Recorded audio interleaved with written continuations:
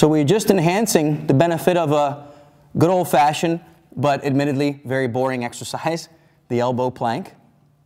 So now we have this lateral pull with the NT loop, with the NT loop around our waist. So it's pulling us this way. So we're getting a little extra activation there. Now, Romina and I both don't have to be doing the exact same exercise. She could stay there.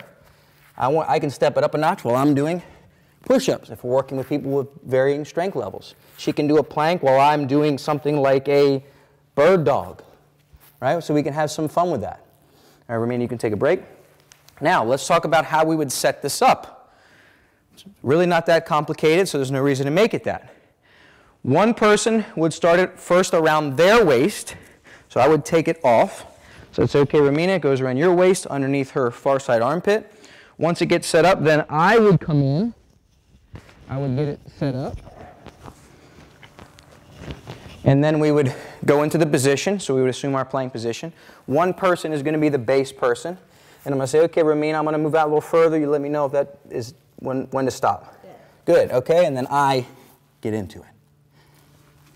Now, aside from the fact that we want to make sure that we're keeping good standard plank alignment, no sagging at the hips, no sagging at the head, strong through the scapula, one of the little tips here, you can take a break, is how wide your feet are when you do the plank.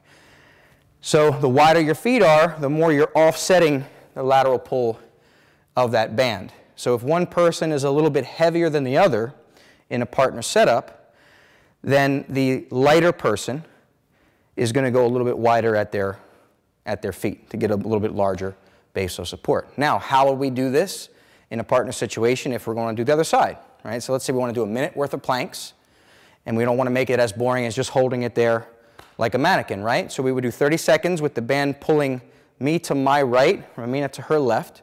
Very simple to change this. We're both going to turn towards one another, just 180. Like that. And then here we go again. So she'll be the base person. Good. I'm going to get out. How's that feel? Good. And there we go. So then when we're done, we go to knees. She stays where she's at. I'll move in.